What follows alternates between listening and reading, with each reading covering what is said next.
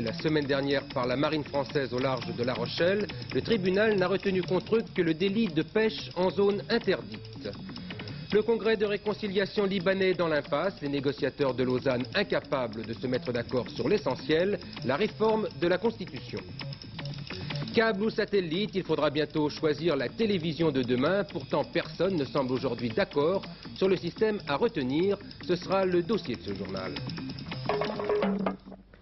Mesdames, Messieurs, bonsoir. Mais d'où sort donc le gang des postiches? Il ne se passe pas de semaine sans qu'on parle d'eux. Et hier encore, les postiches s'attaquaient à une agence du Crédit Commercial de France dans le 7e arrondissement à Paris.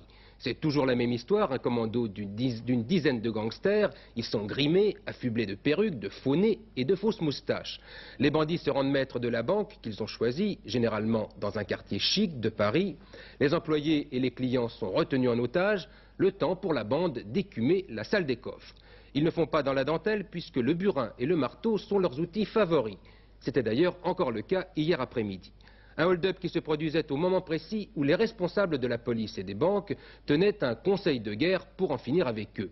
Et ce soir, la seule évocation du mot postiche donne des boutons aux policiers qui ne sont pas habitués à ce type d'opération.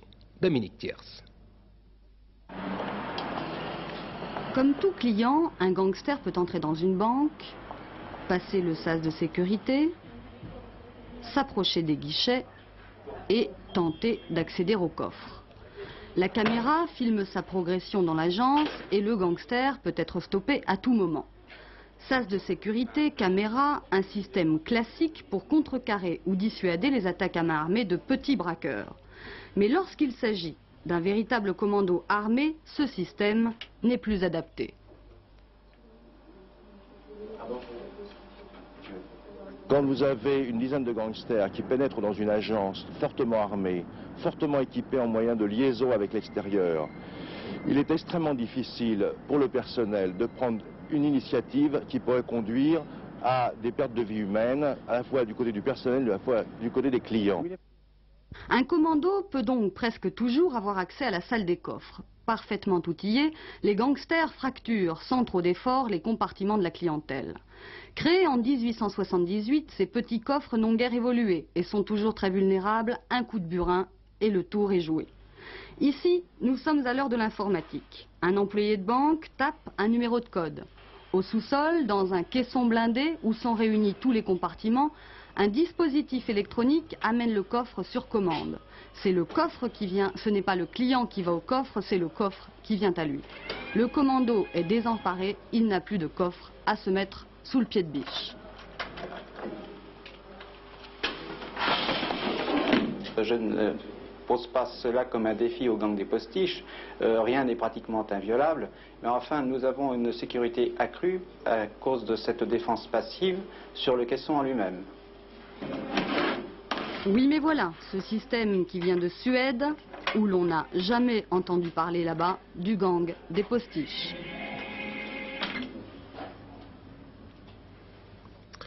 Les deux patrons pêcheurs espagnols arraisonnés la semaine dernière dans le golfe de Gascogne comparaissaient aujourd'hui devant le tribunal de Lorient.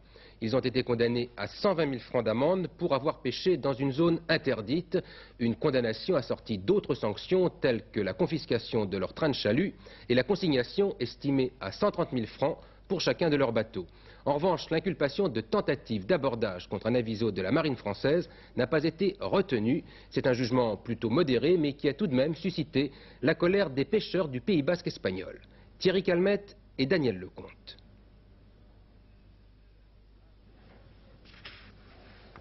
Le tribunal de Lorient n'a pas retenu contre les deux patrons pêcheurs espagnols la charge de tentative de destruction d'un bâtiment de la Marine nationale. Donc, pas de peine de prison, mais 120 000 francs d'amende pour chacun et la confiscation de leur matériel de pêche.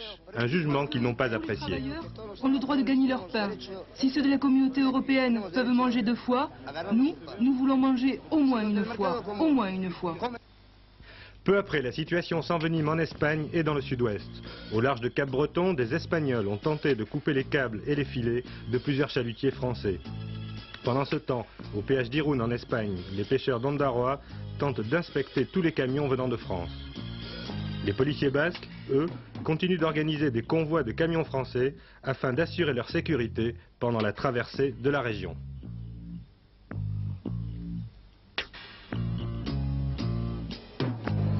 Qu'est-ce que vous faites ici contre les camions français? Ici, rien. Mais on les suit, on les suit, et plus loin, quand il n'y a plus la police, on y met le feu. Lorsque les pêcheurs basques espagnols présents au péage apprennent le jugement, c'est la colère. C'est beaucoup trop. La France est le pays le plus égoïste du monde. Il faut ajouter à cette tension entre la France et l'Espagne la menace des pêcheurs espagnols d'incendier le consulat de France à Bilbao si on continue de les empêcher de jeter leurs filets dans les eaux communautaires.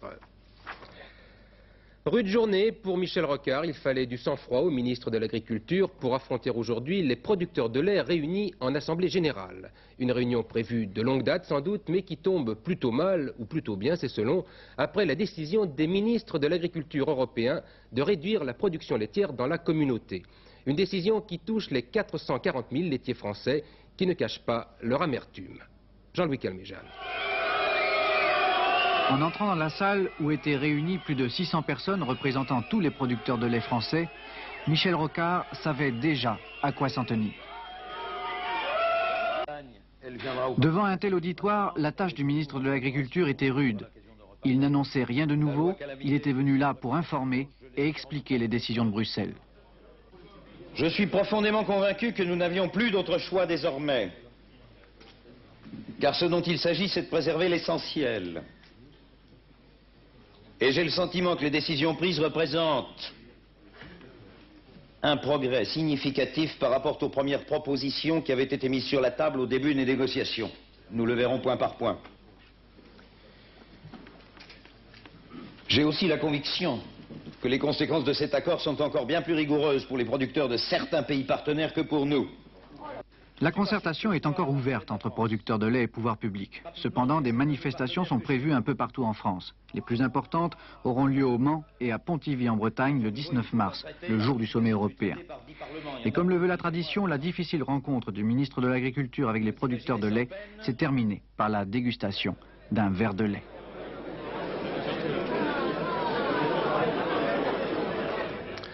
Pour la première fois, les 160 000 salariés de la régie Renault étaient appelés à élire leurs représentants au conseil d'administration.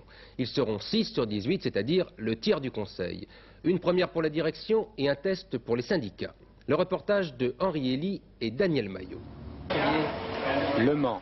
On vote ici depuis ce matin à 8 heures chez Renault pour élire les six représentants des salariés au conseil d'administration de la Régie nationale. Dans cette usine bâtie sur 45 hectares sont construits des trains avant et arrière, des modèles de la Régie, des cardans mais aussi des tracteurs agricoles et même de la peinture. 8800 salariés, toutes catégories confondues, y travaillent. Comme partout ailleurs en France, on vote donc chez Renault aujourd'hui, mais cela changera-t-il quelque chose aux conditions de travail? Certains ouvriers, tout juste sortis de leur atelier pour déposer leur bulletin dans l'urne, donnent ici leurs sentiments. Les organisations syndicales ils vont pouvoir euh, être au plus près de la gestion de l'entreprise. Et puis, euh, bon, bah, les, décisions qui seront prises, euh, parce qu'on tiendra, tiendra, compte des décisions des, des organisations syndicales. Qu'est-ce que ces élections vont changer pour vous? Eh bien, une plus grande démocratisation à l'intérieur de l'entreprise, c'est-à-dire la représentation des ouvriers auprès de, du conseil d'administration, euh, un, regard sur euh, la marge de l'entreprise. Je pense que si c'était vraiment possible, ce serait vraiment intéressant. Mais je pense que ça va rester une utopie. Vous n'y croyez guère Non, alors là, pas du tout. Et vous avez voté aujourd'hui? Ah oui, j'ai quand même voté. Cinq listes sont en présence. C'est maintenant l'attente dans une atmosphère tranquille, sans que les 87% de participation ne les rendent trop enthousiastes. À Beyrouth, le cessez-le-feu était généralement assez bien respecté aujourd'hui, malgré quelques tirs sporadiques, comme l'on dit, aux abords des secteurs chauds de la capitale, autrement dit, sur la ligne qui sépare Beyrouth-Est et Beyrouth-Ouest. Pendant ce temps-là, à Lausanne, c'est un peu l'impasse ce soir. En effet, depuis deux jours, les participants abordent le fond du problème, c'est-à-dire la réforme constitutionnelle. Et sur ce point, l'accord est encore bien loin d'être acquis. Gérard Sebag. Violent incident ce matin en pleine séance à propos des déclarations de certains éléments des forces libanaises à Beyrouth qui s'opposent à l'abrogation de l'accord israélo-libanais. Messieurs Pierre Gemayel et Frangier se sont lancés de belles insultes difficiles à rapporter. Ils ont quitté la salle de conférence et puis ensuite ils ont accepté de reprendre la discussion. C'est dire que les choses vont tout de même lentement, les positions sont difficiles à rapprocher et les affrontements du passé peuvent surgir soudainement et faire capoter cette conférence. Une conférence qui a des côtés souvent anachroniques, qui peuvent choquer, mais comment discuter de la fin d'une guerre sans goûter un peu des plaisirs de la paix? 18h, Sam au bar de l'hôtel Beau Rivage commence à pianoter pour d'étranges clients affalés dans de bons fauteuils de cuir. La musique adoucit les mœurs, dit-on, mais ces mélopées vont-elles traverser les couloirs? Conférence de presse improvisée du porte-parole de la présidence. Les discussions se poursuivent, tout va bien. Mais à qui est destinée cette corbeille de fleurs? Vrai, faux, la guerre, les fleurs, la musique, tout se mêle dans une atmosphère bien étrange de surréalisme. De longues discussions en attendant l'heure du déjeuner pour tout de même un instant de détente.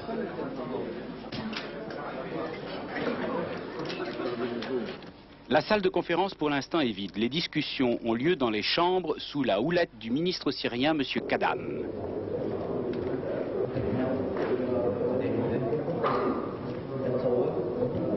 Un rapprochement, celui de M. Djumblat et Chamoun.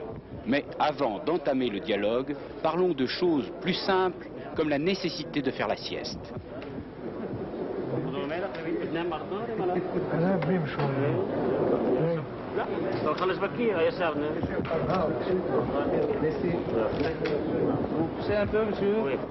À l'extérieur, dans les jardins, voilà qui nous rappelle que réunir tous les antagonistes de la guerre du Liban est une entreprise chargée de menaces. Qu'a donc vu ce chien policier? Tout simplement un mignon toutou. Petits à côté d'une conférence qui, si elle mettait fin à la guerre, deviendrait une grande conférence. Le président irakien menace de lancer une violente attaque contre l'Iran si Téhéran lance de son côté une nouvelle offensive dans la guerre du Golfe. C'est le dernier épisode de cette bataille qui fait toujours des ravages dans la région. Et aujourd'hui, pour la première fois, Téhéran, qui accuse Bagdad, vous le savez, d'utiliser des armes chimiques, l'Iran donc a montré à la télévision ce qui pourrait être une bombe chimique utilisée contre ses soldats. Philippe Dumez. Cet obus est peut-être une bombe à gaz ou une arme chimique, mais aucune indication ne permet de le dire formellement. Ensuite, une bombe, quelle qu'elle soit, risque toujours d'exploser. Or, pour la présenter à des observateurs, les précautions prises ici peuvent paraître insuffisantes. Le détonateur, qui sert aussi à maintenir le gaz de façon étanche, ne peut pas se dévisser à la main comme on le voit. Et dans la mesure où l'on collecte des échantillons d'un produit dangereux dont on ignore la nature, il est très imprudent de le faire à la main nue. Enfin, compte tenu de la grosseur de la bombe, elle devrait contenir une dizaine de litres de liquide mortel, ce qui ne semble pas être le cas. Alors, cette preuve iranienne pour accuser l'Irak d'utiliser des armes chimiques n'est pas vraiment évidente pour des spécialistes que nous avons interrogés. Un mineur anglais est mort hier dans le bassin houillé d'Ollerton lors de violents affrontements entre grévistes et non-grévistes. Les conditions de la mort de ce mineur âgé de 24 ans sont encore floues et l'on ne sait pas s'il est mort d'un malaise ou d'un coup reçu. Sur ce point, les versions divergent. Vous savez que les mineurs anglais sont en grève depuis hier pour protester contre la politique charbonnière de Margaret Thatcher. Émotion à Berlin où de mystérieux travaux ont commencé à la limite des secteurs est et ouest de la ville. On a d'abord pensé qu'il s'agissait de la construction d'un nouveau mur. Une douzaine d'ouvriers étroitement surveillés par des gardes frontières ont en effet entrepris de dresser une nouvelle enceinte de béton préfabriquée près de la porte de Brandebourg. On a donc pensé qu'il s'agissait d'un renforcement des fortifications connues sous le nom de mur de Berlin. En fait, selon les autorités de Berlin-Est, il ne s'agirait que de simples activités de bâtiment, des travaux qui pourraient être rendus nécessaires pour tenir compte d'un grand chantier qui vient de s'ouvrir non loin de là.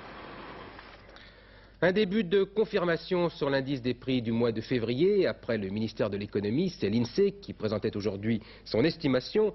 Les prix auraient augmenté de plus 0,7%. C'est le chiffre qui avait déjà été annoncé par la rue de Rivoli. Si ce chiffre se confirmait, la hausse des prix en France aura été de 1,4% depuis le début de l'année. Pierre Mauroy au Danemark, le Premier ministre rentre ce soir à Paris. Il n'a pas voulu faire de pronostic à propos du prochain sommet européen, tout en indiquant qu'un accord était indispensable. Selon M. Mauroy, la dernière réunion des ministres de l'Agriculture ne peut que faciliter un tel accord. Du scratch chez les pirates de la vidéo, après le coup de filet réussi par la police, deux laboratoires clandestins ont été découverts dans la région parisienne et un vaste réseau de piratage a été démantelé. Les explications de Michel Perrault. 3500 cassettes, 17 magnétoscopes saisis, 30 personnes interpellées. L'opération qui vient d'être menée par les gendarmes du Bastion 14 à Paris est la première manifestation spectaculaire de l'offensive contre les réseaux des pirates de la vidéo. C'est à la suite d'une perquisition menée par pour une banale affaire de vol de cartes de crédit que les gendarmes ont découvert cette affaire de trafic de cassettes. En tirant le fil, de l'écheveau, euh, les enquêteurs, les gendarmes sont arrivés jusqu'à une bande de quatre amis passionnés de vidéo qui, au départ, par camaraderie, se faisaient prêter par des projectionnistes des films cinéma et en tiraient des copies vidéo. Et puis, bien vite, on a vu l'intérêt qu'on pouvait retirer de, de cette affaire. Et l'affaire a pris alors une toute autre dimension, celle d'un véritable trafic organisé. Les pirates s'étaient ainsi assurés de la complicité des chauffeurs effectuant le transport des copies. Celle-ci était détournée entre le laboratoire de développement à Joinville et le centre de distribution Covedis, ici, à Orsay. Les films étaient ensuite amenés à Neuilly, de nuit, dans ce laboratoire connu, à l'insu de son propriétaire. Les matrices ainsi réalisées étaient aussitôt envoyées dans plusieurs petits laboratoires clandestins qui étaient chargés de fabriquer les cassettes vendues au public. Les éditeurs vidéo, qui depuis longtemps réclamaient des sanctions exemplaires contre les pirates, ne cachent pas aujourd'hui leur satisfaction. Mais ils estiment que les pouvoirs publics doivent encore aller plus loin. Le plus important, c'est de démonter les pirates, mais aussi c'est de les condamner rapidement et de ne pas mettre 4 ans euh, comme on fait euh, depuis euh, plusieurs années. Et ensuite, c'est surtout de bloquer la diffusion dans les vidéoclubs qui diffusent les cassettes pirates, c'est-à-dire de les fermer et ensuite de les condamner sévèrement pour que ça serve de leçon. D'ores et déjà, les gendarmes annoncent que l'enquête pourrait avoir d'autres développements dans les prochains jours, avec peut-être notamment de nouvelles arrestations. Un mort et deux blessés graves à Paris, rue de Provence. C'est le bilan d'un accident. Un automobiliste ivre a fauché des passants sur un trottoir. Le chauffeur a été conduit au commissariat et un passager de la voiture s'est enfui juste après l'accident. Le salon du son et de l'image bat son plein à Paris et il est l'occasion de verser de nouveaux éléments au dossier, pourtant déjà volumineux, de la télévision de demain. Avec bien des interrogations puisque les experts, tout comme les hommes politiques, ne semblent guère d'accord sur les choix des moyens techniques à employer. Câble ou satellite, la polémique est ouverte et Patrick Esther a essayé d'y voir plus clair en partant d'une expérience de télévision câblée qui est justement réalisée au Salon du son et de l'image. Ce mur de téléviseurs, ce pourrait être le catalogue des futurs programmes de télévision d'une ville câblée. 12 chaînes. TF1, Antenne 2, FR3, Canal+, RTL, RMC, Antiope, un programme relayé par satellite Canal 5, ainsi qu'une chaîne locale produite dans un studio comme celui-ci, installé actuellement au CNIT à Paris. Vous ajoutez à cela une petite régie, utilisant une équipe réduite de techniciens. Voilà le modèle de base de ce que pourrait être une télévision privée locale par câble. Un réalisme poussé à l'extrême, puisque l'équipement qui distribue ces 12 programmes a été installé par TDF, l'organisme officiel qui diffuse actuellement les trois chaînes nationales. Techniquement, cette expérience est concluante. Mais quand il s'agit de passer à un câblage en vraie grandeur, l'affaire se complique. Plus de 18 mois après l'annonce du plan câble, les décrets d'application ne sont toujours pas publiés. On bute sur deux problèmes, et notamment sur celui des programmes que diffusera le câble. On ne construit pas un réseau câblé euh, sans savoir ce qu'on va passer dessus. Alors, euh, Jacques Chirac a demandé au Premier ministre de lui indiquer les conditions d'exploitation qui dominent, car si nous n'avons pas un certain pourcentage de publicité, si nous ne pouvons pas passer des télévisions étrangères, euh, si nous ne pouvons pas créer des chaînes locales, il est évident qu'il n'y aura pas de clients. En admettant le problème des émissions résolues, reste à régler celui de la distribution. Le gouvernement a fait un choix technologique d'avant-garde, celui de la fibre optique. Cela, malgré l'investissement très lourd qu'entraîne ce type de câblage. De la fibre optique, en voilà. À l'intérieur d'un seul cheveu de verre, comme celui-ci, d'un dixième de millimètre de diamètre seulement, on peut transmettre plusieurs dizaines de chaînes de télévision. Placer un câble de fibre optique comme celui-ci, de couleur verte, à l'intérieur d'une ville comme Paris est relativement facile, puisqu'il suffit de le glisser parmi d'autres câbles téléphoniques qui existent déjà à l'intérieur des égouts. La fibre optique présente le gros avantage de pouvoir véhiculer toutes sortes de signaux, comme ceux utilisés par le visiophone, qui transmet l'image en plus du téléphone. La fibre optique, c'est la porte ouverte sur les communications de l'an 2000, un enjeu industriel capital. Cette technique devrait servir de locomotive à une industrie nouvelle et puissante. Un inconvénient toutefois, ce type de câblage est très onéreux. Ce plan engage la France pour un nombre d'années qu'on peut fixer à une dizaine à une quinzaine d'années pour le câblage de l'ensemble des villes de France. Et donc c'est une échelle de temps relativement longue. 15 ans pour les villes, autant dire que les campagnes isolées ne sont pas près d'être câblées. Alors certains experts en télécommunications, comme Jacques Dondou, préconisent d'avoir recours, en attendant, aux bons vieux émetteurs terrestres. Ces campagnes isolées pourraient en revanche être reliées grâce à des satellites de télévision directs que les particuliers pourraient capter grâce à des antennes de 90 cm de diamètre. Malheureusement, là aussi les experts estime que le satellite TDF1 que la France doit lancer l'an prochain est déjà périmé et qu'il fait double emploi avec le câble. Je dis au contraire qu'il y a complémentarité nécessaire. Mais on dit que le satellite est déjà périmé. On a la chance d'être euh, technologiquement très avancé à cause du programme industriel que euh, nous avons euh, lancé avec les Allemands. Ça date de 79. Naturellement, la technique évolue, et tant mieux. Mais là, c'est tout près ce serait criminel de ne pas euh, s'en servir. Et puis, ma foi, si dans euh, deux ans, trois ans, cinq ans, il y a une technique mieux adaptée, eh bien, euh, il sera toujours temps de changer. Des milliards ont déjà été dépensés dans des systèmes qui tous sont loin d'être opérationnels. Les vrais choix tardent à venir et bien des zones d'ombre planent encore sur l'avenir de la télévision. Les métiers du spectacle étaient en grève aujourd'hui, un mouvement qui touche aussi bien les comédiens que les réalisateurs et les techniciens. Ils protestent contre la réforme du régime d'indemnisation des intermittents du spectacle. La crainte des gens du spectacle, où l'intermittence fait partie du métier, leur crainte c'est de perdre aujourd'hui leurs droits avec la nouvelle réglementation. Avec nous sur ce plateau, Henri Virlogeux pour nous expliquer les raisons de cette grève, car le public la comprend mal en définitive. On connaît bien les grandes vedettes, on ne se fait guère de soucis pour elles, puis il y a les autres. Bien sûr. Euh, les raisons de cette grève sont presque plus connues et mieux admises que les raisons qui nous avaient fait faire la grève par le passé. En effet, cette grève n'est pas une grève uniquement revendicative, c'est une grève d'alerte, c'est-à-dire c'est une grève d'information sur notre profession. Souvent, comme vous le disiez tout à l'heure, on pense que c'est un métier doré, c'est vrai, c'est un beau métier quand on l'exerce, mais il y a aussi la face cachée du métier, c'est-à-dire il y a tout le travail qu'on fait chez soi, il y a tout ce travail de la mémoire, toutes ces heures passées, passées, repassées sur les textes. Il y a un chômage considérable Considérable. Euh, nous, nous avons, euh, pour ainsi dire, inventé le chômage, si ça n'était pas une boutade. On est habitué. Mais euh, c'est vrai qu'il y a un chômage considérable. Et ce chômage, on nous dit souvent qu'il vient du fait que nous sommes trop nombreux. Mais je pense que c'est un mauvais argument parce que euh, dans le nombre, on peut trouver la qualité. Et puis il y a surtout une, question qui est importante dans notre profession, l'intermittence. C'est ça, je crois qu'il faut euh, bien expliquer aux gens. L'intermittence, c'est ce qui suit un travail avant un autre travail. Et cette intermittence n'est pas simplement une, un, si vous voulez, un no man's land dans lequel on nous donne de l'argent pour pouvoir attendre deux affaires. C'est aussi la possibilité de réserver aux comédiens et aux comédiennes le choix. Le choix, c'est une chose euh, importante pour un comédien ou une comédienne, c'est-à-dire que on dirige sa vie chacun, et euh, à travers le théâtre, on peut la diriger, à travers les professions artistiques, on peut la diriger avec son libre arbitre. Et le libre arbitre a besoin d'être aidé et d'être soutenu. Or, dans cette période d'intermittence, on voudrait sauvegarder ce qui nous permet de vivre en attendant la prochaine affaire. Et c'est un privilège exorbitant que vous réclamez en définitive par rapport aux autres catégories sociales? Euh, Non, c'est pas exorbitant.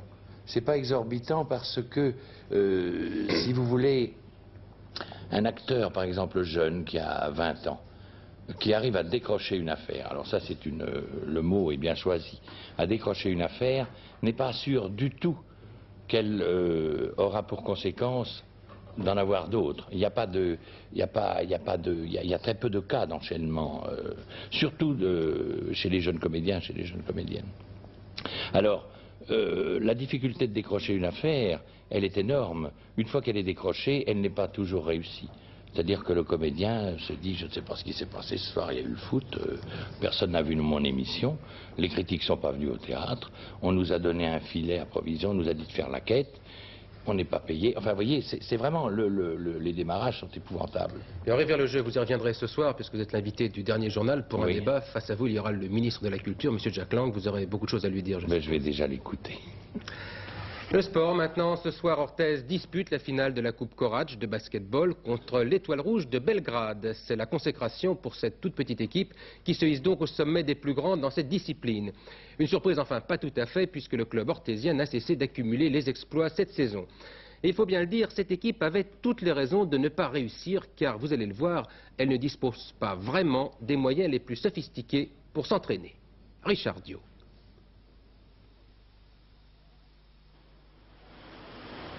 Dans un peu plus d'une heure, Orthez, 12 000 habitants, rencontre Belgrade, la capitale de la Yougoslavie. Une finale de Coupe d'Europe inédite, certes, mais surtout inespérée pour ce petit club du Sud-Ouest. Orthez ne possède même pas une salle pour jouer au basketball. C'est le marché couvert qui fait office de palais des sports. Et ce n'est pas avec la maigre subvention municipale de 100 000 francs que l'on peut faire des folies. Chaque semaine, l'endroit retrouve sa fonction première, les volailles redeviennent les occupantes du plancher, en l'occurrence de la moquette. Nous avons eu il y a deux ans un joueur américain qui a dû repartir car il ne supportait pas les plumes. On s'en aperçut au bout d'un an. On a mis un an pour, pour, s'en apercevoir. Il était allergique aux plumes de poule. On remonte les tribunes toutes les semaines après le marché du mardi et on les démonte après le match du samedi soir. Ça dure depuis un quart de siècle.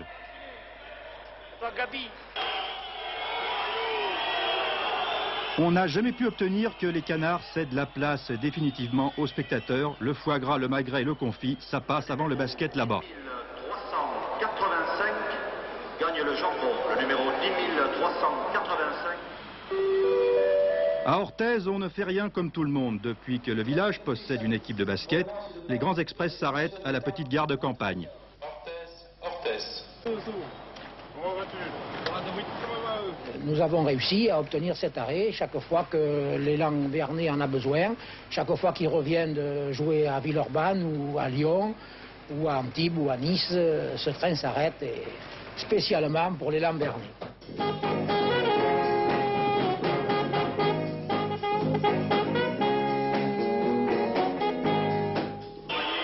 Joueurs aussi sortent du moule commun. Hufnagel, le meneur de l'équipe, passe pour un marginal dans ce village où les gens n'aiment pas que l'on suive une autre route qu'eux. On me dit, on me dit, mais je suis pas marginal. Pourquoi on dit que vous êtes un marginal bah, Vous n'avez qu'à prendre mon pantalon, regardez. je veux dire, il y a... Vous voyez Alors on dit que je suis un marginal. Voilà, c'est pour ça, parce que je m'habille, euh, parce que j'ai un pantalon avec des fermetures éclair, une boucle d'oreille. Plus de 3000 Basques, Béarnais et Landais encourageront le petit provincial ce soir face à l'étranger. Orthez sera chez lui à Paris. Orthez a toujours été à la une euh, dans les journaux et grâce à votre chaîne qu'on remercie beaucoup. Effectivement, cette finale sera retransmise sur Antenne 2 à partir de 21h35. Il y avait un quartet aujourd'hui à Évry. Pour gagner, il fallait jouer le 8, le 5, le 14 et le 9, ce qui rapporte, ce qui rapporte bien 203 000 francs, 450 francs, 203 450 francs pardon, et 50 centimes dans l'ordre pour 5 francs et 12 972 francs dans un ordre différent. Et maintenant, la météo avec Brigitte. Et les choses deviennent sérieuses. Nous en sommes à printemps au moins 4. Mais les personnes qui vivent au sud ont du mal à se rendre compte. Il fait mauvais. Sur ces régions, la situation se présente comme un nœud coulant. Regardez la photo satellite. Je vous demande un peu d'indulgence car dans mon enthousiasme pour vous le montrer, j'ai fait une tâche. On peut même appeler ça un pâté. Alors voici ce nœud coulant. Il se resserre par les poussées successives de l'air froid qui réalimente les nuages. Cela nous donne sur la carte de demain une carte en dégradé. Le mauvais temps touchera encore le sud de l'Aquitaine, les Pyrénées, le littoral méditerranéen et la Corse, donnant de la pluie et des nuages. Un peu plus au nord, de la Loire aux Alpes du Nord, beaucoup de nuages mais pas de précipitations. Enfin, partout ailleurs, du beau temps. Le thermomètre descend très très légèrement de 9 à 13 degrés sur la moitié nord et de 11 à 14 degrés sur la moitié sud. Demain, vendredi 16 mars, le soleil se lèvera à 7h01, se couchera à 18h57. Nous fêterons les bénédictes. L'occasion de refermer ce journal. Maintenant, Jacques Segui vous donnera connaissance des dernières informations vers 23h15. Demain, vous retrouverez Daniel Bilalian à 12h45 et Jean-Claude Alanic à 18h30. Bonsoir, à demain 20h.